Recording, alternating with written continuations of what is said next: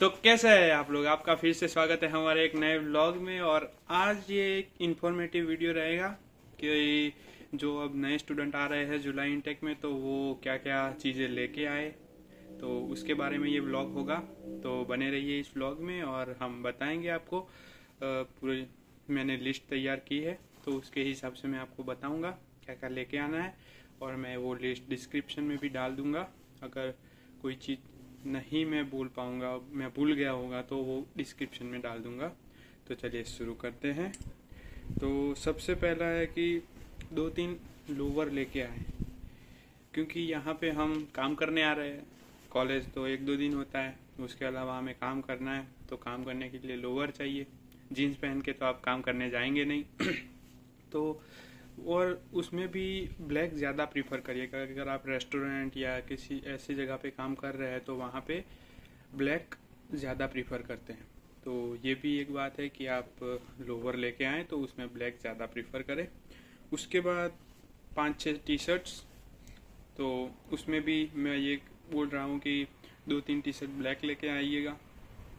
क्योंकि हम ज़्यादा ज़्यादातर हमें काम पे ब्लैक ही सभी जगह पे प्रीफर होता है। तो ये बात का ध्यान रखिएगा। उसके बाद है शर्ट अगर आप शर्ट पहनते हैं तो वो भी दो तीन लेके आइएगा। उसके बाद जीन्स जीन्स तो ज़्यादा पहनने के लिए काम में नहीं आएँगे, क्योंकि कॉलेज दो तीन दिन जाना है उस दिन ही। मगर यहाँ के जीन्स है, वो इंडिया के जीन्स से नहीं, अच्छे नहीं है। इंडिया के जीन्स बहुत अच्छे हैं। तो मैं तो यही प्रीफर करूँगा कि आप वहाँ से ही लेके आए। यहाँ पे कपड़े इतने ज़्यादा अच्छे नहीं मिलते हैं। उसके बाद आप शॉर्ट्स पहनते हैं तो शॉर्ट्स आप लेके आ सकते हैं चार पाँच। अगर आप पहनते हो तो तो वो भी है। उसके बाद अंडरवियर सात आठ अंडरवियर तो लेके ही आना। क्योंकि हम हर रोज़ तो यहाँ पे कपड़े धोने वाले हैं नहीं। तो ये थोड़ा बेनिफिशियल रहेगा हमारे लिए, अगर हमारे पास सात आठ हो तो। एक वीक के बाद धोएँगे फिर भी चलेगा। इसीलिए उसके बाद मैं क्या बोल रहा हूँ?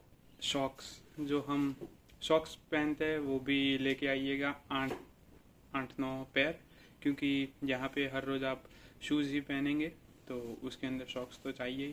तो वो भी लेके आइएगा। उसके बाद होता है हैंड हैंकी जो हम अपने साथ ही रखते हैं पूरे वक्त, वो भी छः सात लेके आइएगा।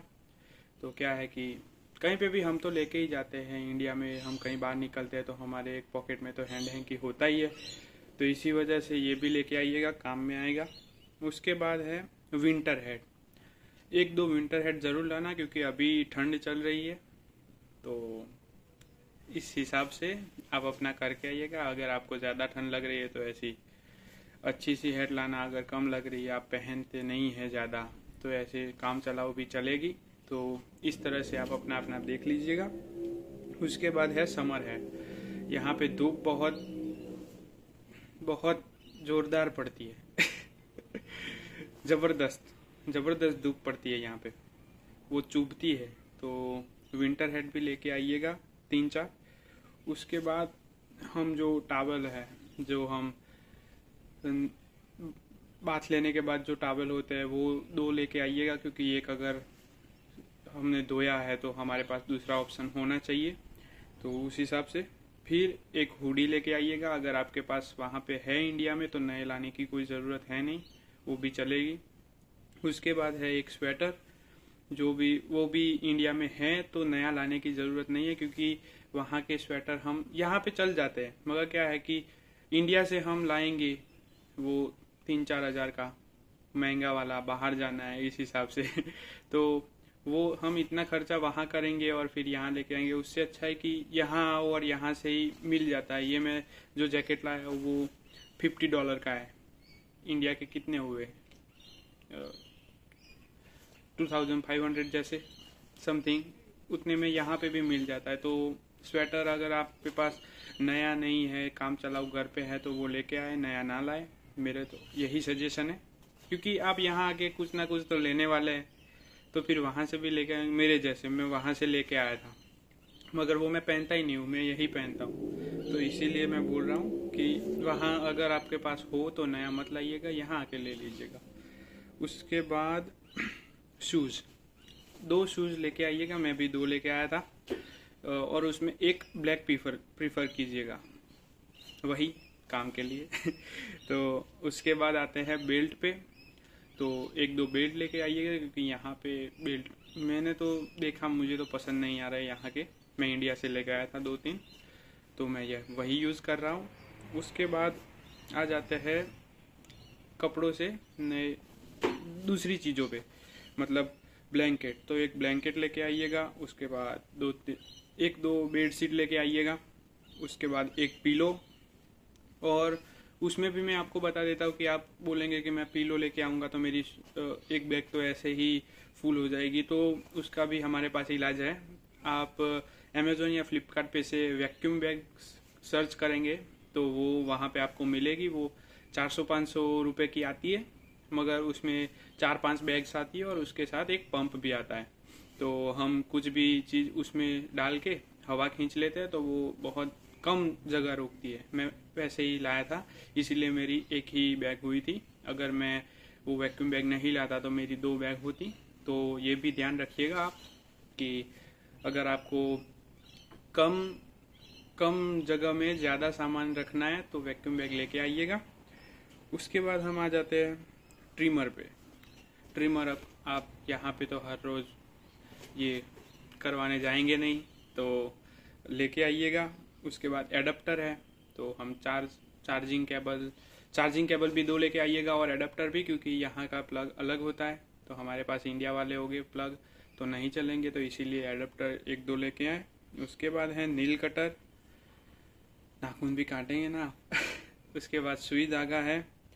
फिर अगर आप गूगल्स पहनते हैं तो एक गूगल्स लेके आए, और आप स्पेक्स पहनते हैं तो वो दो दो तो लेके ही आए, क्योंकि यहाँ पे महँगे मिलते हैं और अगर आप वहीं से लेके आए तो आपको सस्ते पड़ेंगे। उसके बाद बर्तन बर्तन में है कुकर।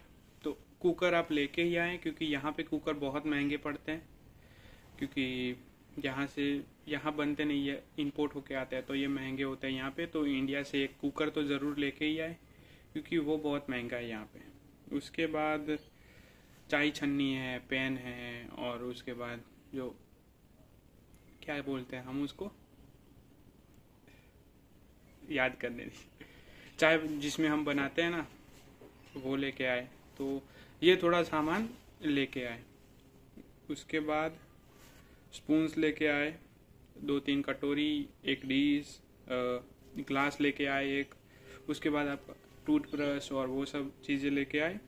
उसके बाद आप मेडिसिन ला सकते हैं, मगर मेडिसिन की प्रिस्क्रिप्शन ज़रूरी है। प्रिस्क्रिप्शन के बिना आप लाएँगे तो ऐसा हो सकता है कि आपको चेक करे और फिर आपको लाने ना दे यहाँ पे। तो मेडिसिन लाए तो उसकी प्रिस्क्रिप्शन लेके आए। उसके बाद हम आ जाते हैं डॉक्यूमेंट्स पे।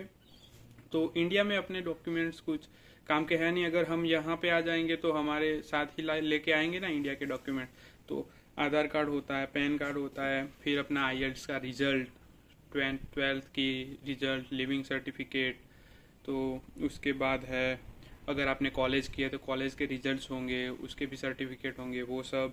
उसके बाद पासपोर्ट, बर्थ सर्टिफिकेट सी e की दो तीन प्रिंट लेके आना।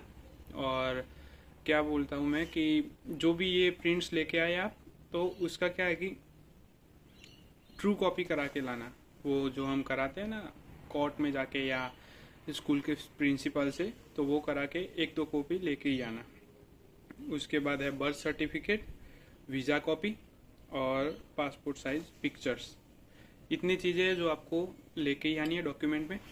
और एक दूसरी चीज़ की जब आप आ रहे हैं यहाँ पे तो जब आप एयरपोर्ट में होंगे तो ये सारी चीज़ें तो आप साथ में लेके घूमेंगे नहीं।